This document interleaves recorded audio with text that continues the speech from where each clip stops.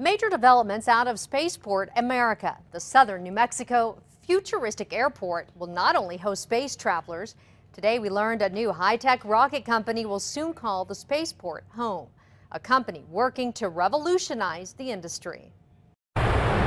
Space Exploration Technologies, or SpaceX, will move from Texas to New Mexico spaceport to continue testing its rocket called the Grasshopper. They can go to a higher altitude here than they can at the uh, launch area in Texas.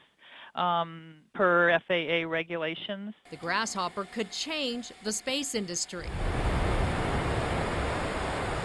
The reusable rocket comes back down to Earth safely after launching ready to be used again in the future. Tremendously bring the cost down of uh, launch uh, for the whole industry. I mean, if they pull this off. SpaceX was founded by Elon Musk, the same man who promised to bring the Tesla car company to Albuquerque back in 2007, but then bolted after California offered better incentives.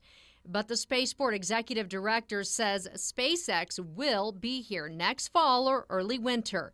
They've signed a three year agreement. It's not known yet how many New Mexicans the company will employ. I'm expecting them, and they're expecting to be here. And um, again, we're, we're very thrilled to have them here. SpaceX joins Virgin Galactic, the spaceport's anchor tenant.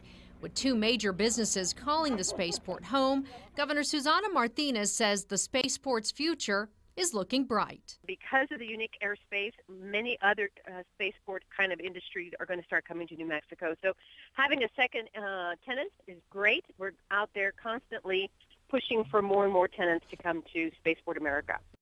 More than 500 people have already paid Virgin Galactic $200,000 or given deposits for a trip to space. Flights are scheduled to start sometime by the end of the year.